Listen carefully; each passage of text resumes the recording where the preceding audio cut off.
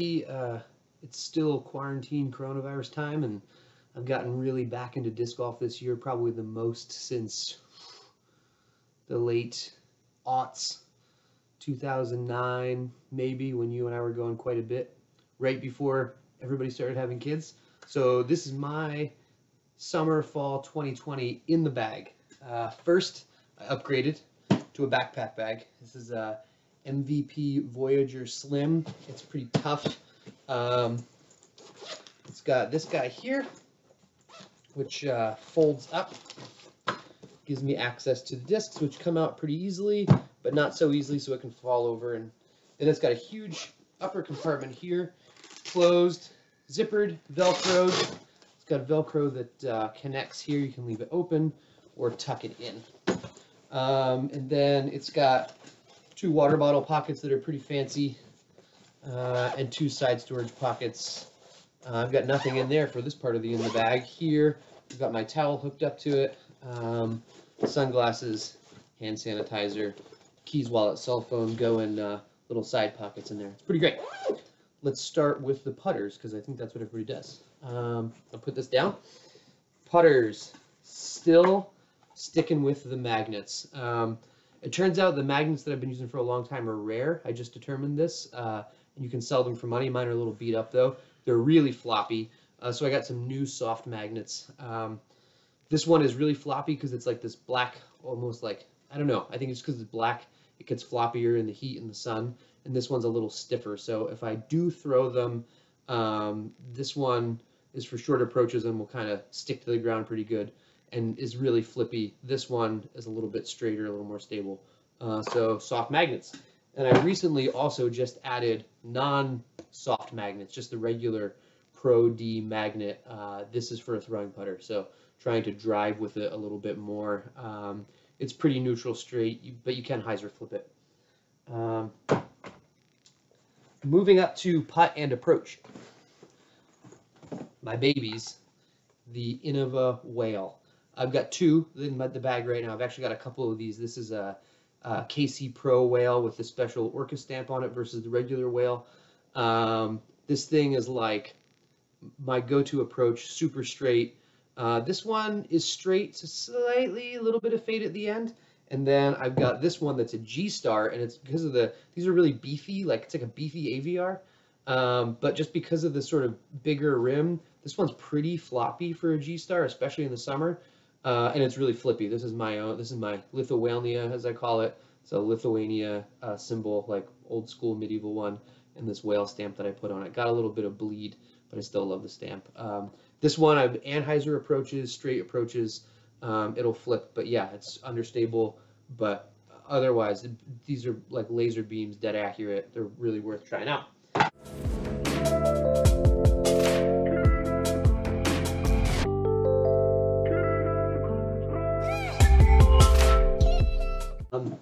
Now on to the most interesting, my first West Side disc. This is a West Side harp. Um, uh, as I understand it, it's really similar to the Zone. Um, my buddy Chris Edmonds, who you know, actually got a Zone. I've thrown it a little bit. I think I like this better. It's like ultra flat to almost puddle, like negative flatness on the top there. This is in BT hard. I didn't know any other plastic. I think it's like um, it's stronger than than XD plastic or DX plastic. It's a little more durable, a little bit grippier, um, maybe closer to Pro. It's like a hard Pro plastic. Uh, I'm using this for forehand approach shots, forehand sort of mid-range shots. It's a 4.304, um, but if you really rip it, it'll go pretty straight and fade out at the end. But you can also get a nice um, little flex shot out of it. So man, I'm using this all the time for approach shots, uh, like really relying on the forehand. It's awesome. Mid ranges. This is where the, my bag gets small. I've got a gap or just just not finding. I was using a newer Discraft Meteor, but it was in uh, Elite Z, which is like champion plastic, and like I'm just off champion plastic. I just cannot release it too early, release it too late.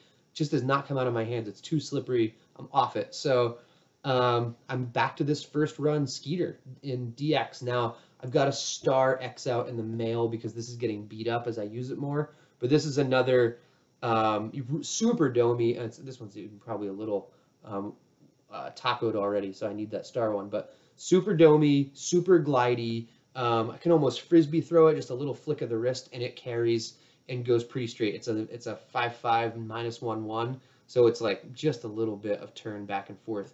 You can anhyzer it, it'll hold it. You can hyzer flip it, um, but it's like tunnel shots, like Mineral Springs hole four, if you remember that. I'm just throwing this at like 60% power just to get it straight and not bang off a bunch of trees. Um, this is, I'd say, the only true mid-range I have right now. Uh, my wife stole my Buzzz uh, SS, but I don't, I don't have any. I'm either throwing my harp and my whale at like full power or close to full power, or I'm going to a fairway driver. This is a jelly chain um, from Sun King Discs. It's a TL3. It's the only champ plastic I've still got in my bag, I think. Uh, maybe there's one other one. I'm mostly off it, but you know? I'm not even throwing that this much. But it's really versatile. It's like, um, I've got it here. It's kind of like a T-Bird. It's one faster. It's an 8, and it's a little less glidey. It's 8, 4, minus 1, 1. So this is just something with a little more control when I don't want to huck a driver. But for the most part, I've clubbed it down quite a bit, which you'll see as we get into drivers, which is next.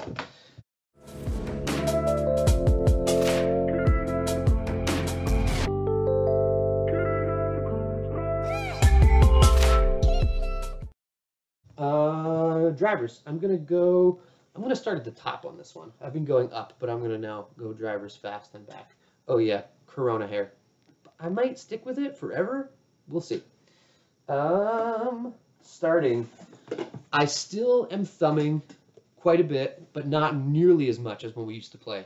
Um, my backhand drives have gotten way better. And I've incorporated forehand or flicks a lot more when I need to. Uh, we'll get into that. But I'm still thumbing for holes that call for it, um, escape shots, things where I've got a big ceiling. Um, I have, if you remember, man, a long time ago, might have been 08, 09, we went to Flippin' Z Disc uh, tournament. I had an ace with a um, with a flick uh, that's getting beat up, and I didn't want to beat it up more, so I have this titanium flick with this rainbow stamp.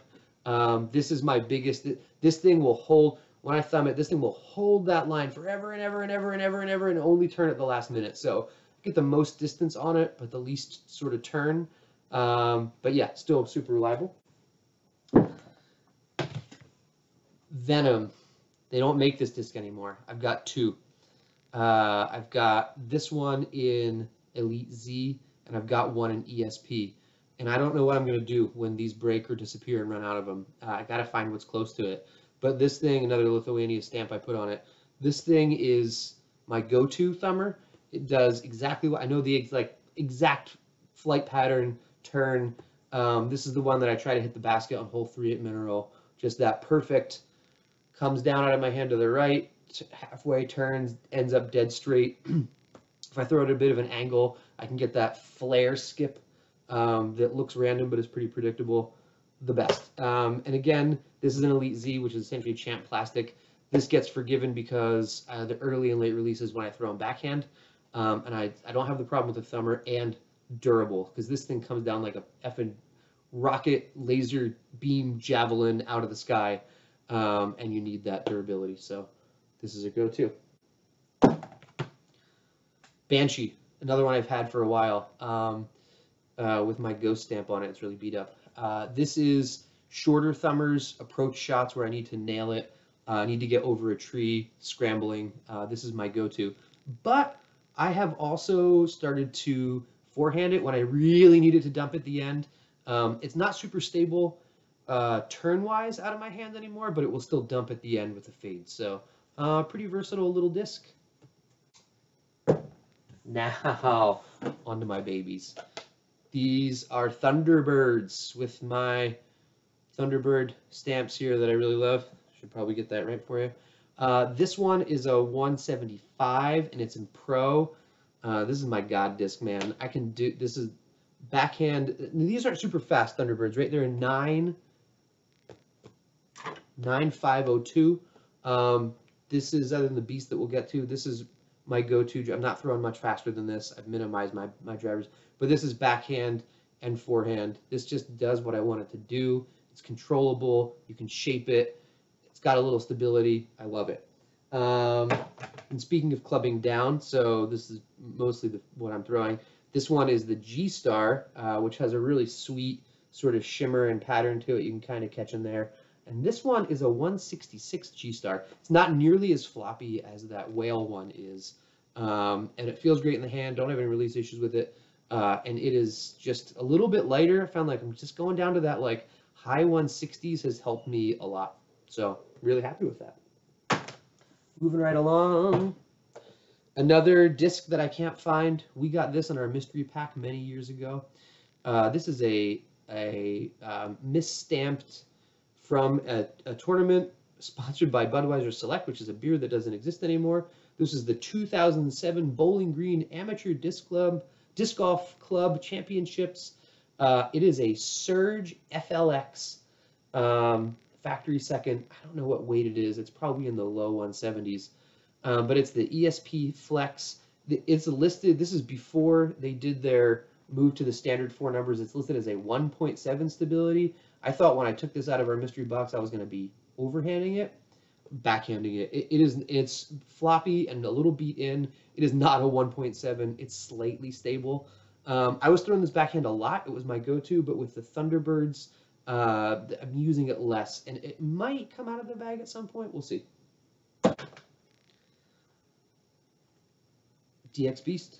Um, I stopped throwing the Valk for whatever reason. I had this 169 uh, DX Beast and was having good good luck with it. So um, this is really the only understable driver that I have in the bag right now. I'm trying to simplify a little bit. I have multiple versions of the disc versus lots of discs. Um, so Beast, and then obviously once I started throwing it more, it's getting beat up pretty quickly.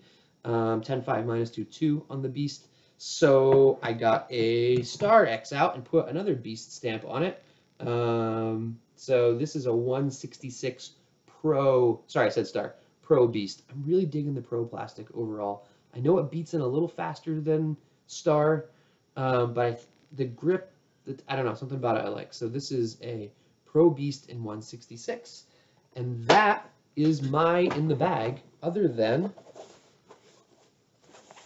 my whale sack with dinosaur print on it. These are great. Uh, pro disc golfer Eric Oakley, his wife makes them. They live in Portland. You can tie them to your bag. It's just a rosin bag, um, which is great for the Pacific Northwest. Winter is coming. Uh, that's my in the bag, man. Um, hope you're playing some rounds, and uh, maybe uh, you can give me an in the bag sometime soon. It can be an email. You don't need to video it. Talk to you soon.